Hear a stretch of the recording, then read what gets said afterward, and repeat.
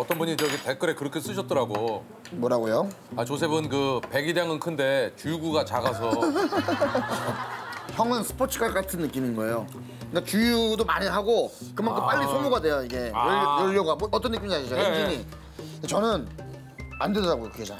아 이거 근데 꼭 이 고등어랑 먹으니까 너무 맛있다. 야 김치찜 한번 크게 한번. 야 이거 밥 한 그릇 갖고 안 되겠는데? 네, 여기 밥 그다음에 비벼 드시면 돼요. 한번 큰거 한번 들어가. 어 좋습니다. 자,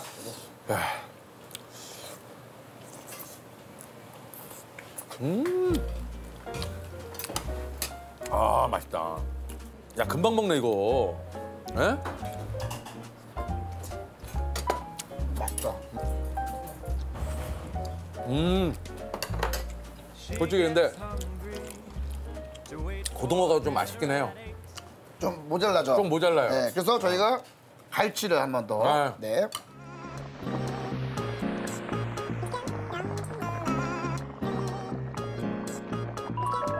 이야, 아, 완전 다르구나. 아 갈치도 좋죠. 요 갈치 무를 한번 또 먹어봐야죠.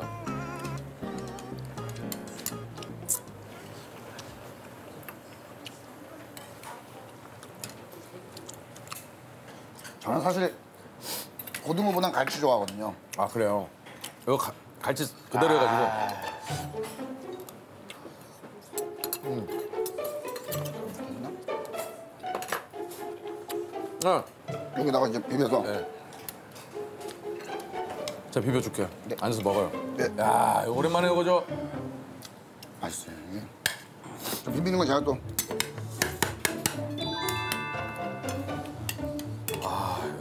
그럼 좀 덜어서 한번. 한번 드셔보세요. 아또 먹어볼게요. 아마 놀라실 겁니다.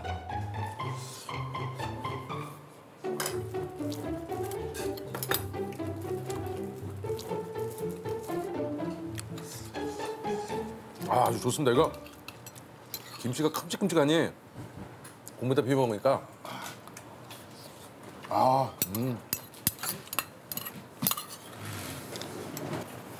맛있다. 진짜 맛있다. 야, 아 마지막에 비빔밥이 진짜 신의 한 수죠. 특별한 반찬 없어도 비벼 먹으니까 아 맛있어요.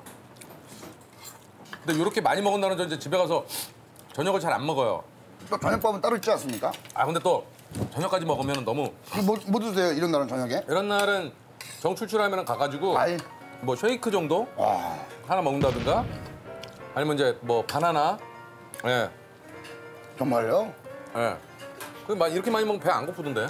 야식 잘안 시켜 드시죠? 거의? 아 저 야식은 많이 안 먹어요. 가끔가다가 뭐 시켜 드세요? 치킨? 야식은 잘 안 먹는 편이에요.